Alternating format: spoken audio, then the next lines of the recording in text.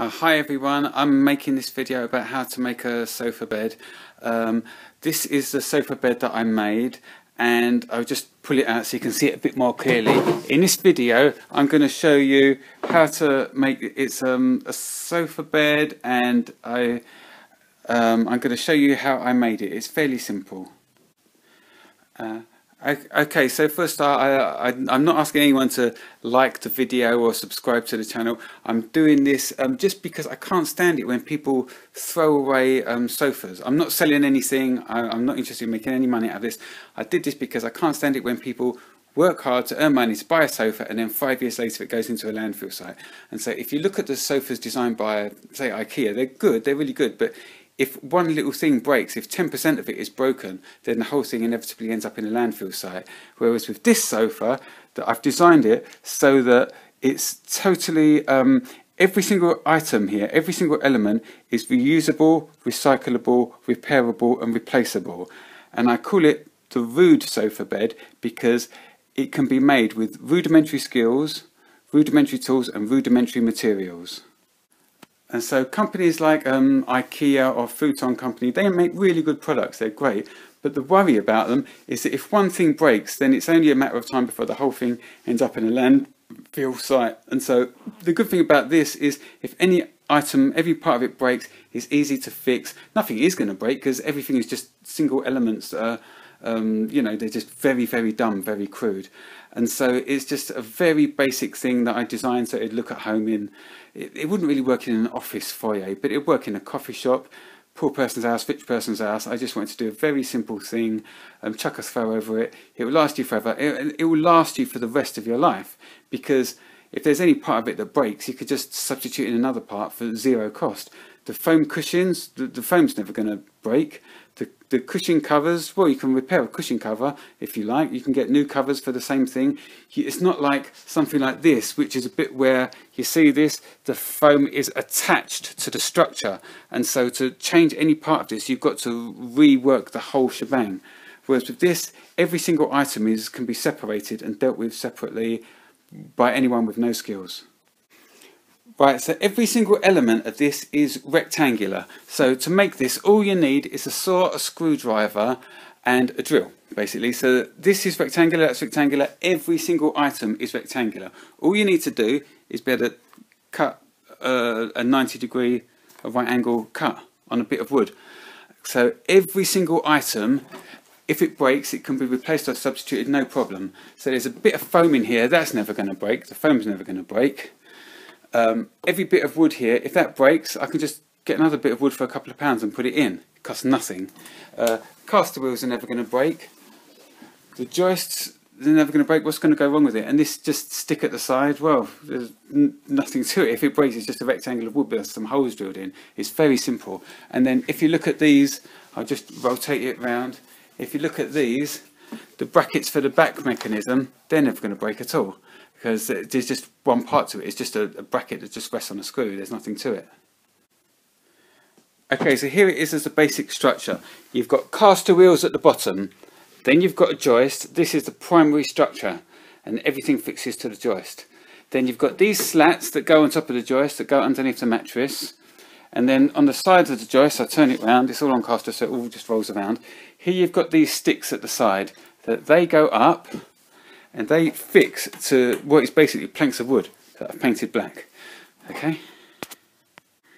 Here at the back of the sofa, this is obviously the back of the sofa, and so this is like the backrest. And what you see, I've got these elements here that will never ever break. They're, they're basically, you get these from a company called Hafele, H-A-F-E-L-E, and they're brackets that will never break. And so these are the brackets that hold the back in place. Okay, so here it is in bed mode. You see I flipped it around. So now the back bit is right at the corner of the armrest on the side. It's right at the corner. Okay, I just take it and flipped it over. Now I'm going to try and do this whilst holding the iPad in one hand and doing this one-handed. So it's going to look like a flurry of confusion, but it would obviously be much easier if I did it with two hands. So now I'm going to lift this up like this, just lift it out of position, doing this one-handed, remember, and now I put it back down. And then there's that one goes there. And that one goes there. And so you imagine with normally with a sofa bed doing this is uh, there, there you see, just one-handed, I've just flipped it around. So this backrest is um, symmetrical, you can flip it upside down, so there it's in the backrest position for the couch. So now you'd use it as a couch, and now I'm going to flip it back round again so how it would be for a bed. So I lift it up, so now you can use it as a bed. So now there is our bed, you see. Now, so what do I do with this? I don't want to just leave this lying on the floor, someone could trip over it. And so I flip it around like that. I'm doing this one-handed, remember? And so I put that there, and I put this side there.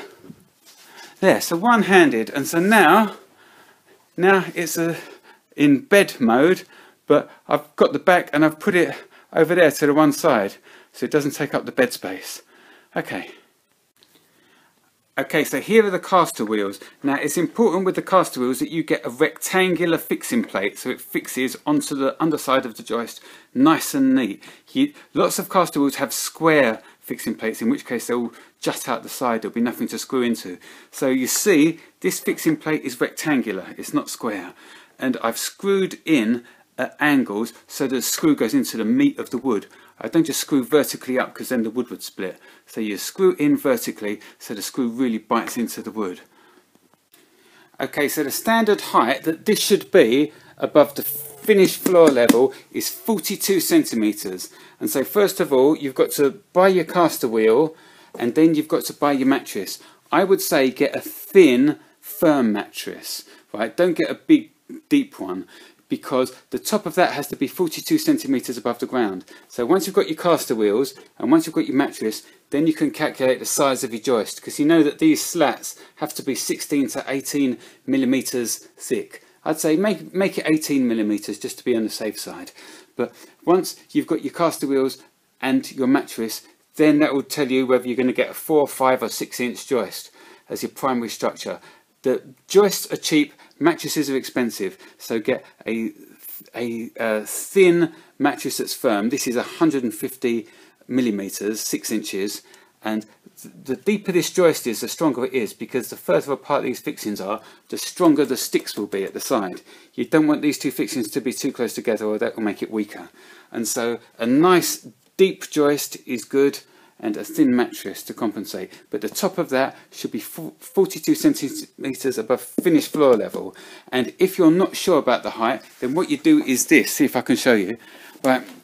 If you're not sure, look at your foot, measure from the foot to the inside part of your knee. And that's what the level that you want that the top of the mattress to be. You don't want you want to be able to put your feet on the floor without the mattress pushing under your leg at all because that's bad for your circulation. So if in doubt, I say 42 centimetres, but I don't know how tall you are, how long your legs are, but you're going to want the top of the mattress to be the same distance about as from the, the bottom of your heel to the inside part of your knee, there. Okay, now we with these joists, what you've got to do is you can get these in, say, I would say get them in 2.1 meter lengths, which is seven foot, and then you strike a line down the center of the joist. So you strike a line down the center of the joist, and that will give you your setting out. Don't do, don't work from one side to the, the other. Strike a line down the center and set out from the center of the joist. Right, the crucial thing with this is that every single element, if it breaks, it can easily be replaced or repaired. You don't need to pay an upholsterer because upholstery is a skillful job. And if there is an upholsterer and you need to get, like say, that chair, be able to get it upholstered, it costs us more than the chair's worth to do it. But with this, this mattress is a standard single mattress. And in the UK, that is 190 centimetres in length by 90 centimeters in width. So it's a standard mattress size. So if ever you want to replace the mattress, you can just buy a new um, standard size single mattress, substitute it in, and you still keep the rest of the, the sofa. So the whole thing can last forever. Okay, so the sizes of the components. I've already said that the the wheels, it depends what ones you buy. Obviously, you have to make adjustments if the caster wheels that you buy are, are bigger or smaller. But these ones are 100 mil high, which I think works well. Now, um, so the depth of the joist is also going to be determined by the thickness of the mattress. Here I've got, what I'm showing here is a six inch joist that's been planed. Right, so that's uh, 140 millimeters and it's by uh, 45 millimeters width, so it's like two inch thick. Now, these up here, these planks, these are standard planks of wood and these are seven and a half inches deep, which is 190 millimeters. The sticks at the side, I've really taken a chance and done them thin and they seem absolutely fine, but if you want, you can always beef them up, have them as two by twos. But these ones I've got, that's 24 millimeters, which is an inch that way, by 30 millimeters, which is an inch and a quarter that way. So that's an inch and a quarter, and that's an inch. Okay, and with these, buy them, um, get four that are 600 long, and then just lop off the excess. So just make them sort of too long, and then lop off the excess at the end. Right, and so these planks of wood, obviously, because this is this is a standard single mattress that you get in the UK where you're making it, maybe your standard mattress sizes are different sizes. So what I'm saying you might have to adjust for if the, the standard single mattress in your country is a different size. But because the mattress is 190 in length by 90 in width, that means that all the other dimensions are generated by that. And so with this, how long is that bit of wood for the armrest? Well, it, it's 90 centimeters because that's the width of the mattress. All these slats of wood underneath, how, how long are they? So well, they're all 900 as well, because that's the width of the mattress. Now, when it comes to the cushions around the side, um, there's only one dimension you have to calculate for yourself. You know all of these cushions are the same size, right? They're all interchangeable. And so I take this cushion off, the length of all the cushions are the same. It's the length from the back of the backrest to the front of the armrest. So that's the length of all of the cushions. The height of the cushions is up to you, make them taller if you want, but I've got them at nine and a half inches, 240 millimeters, right? Now, once you know those two dimensions, you're going to, to do a bit of calculation and you increase or decrease the width until you've got a size where all four will fit like that.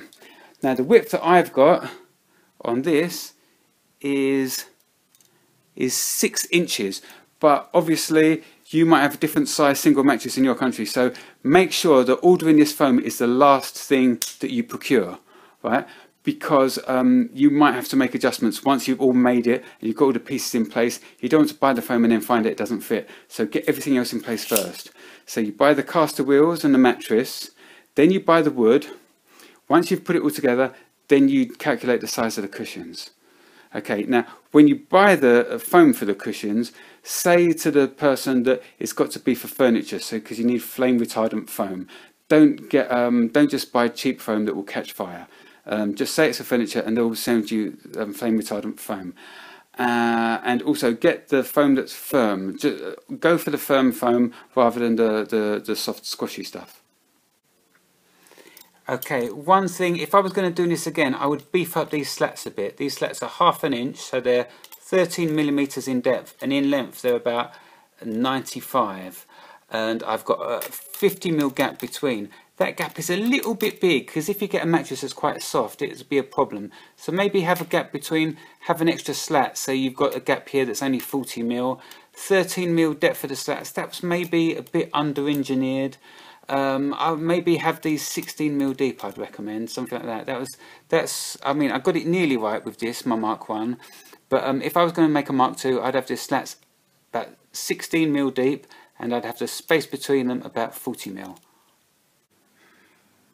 Okay, so regarding setting out, we've already said we're going to get a 7 foot, 2.1 metre long joist and mark the centre line of that and set out from that. So we know that that mattress there, the standard size of a single mattress in the UK is 190 centimetres long.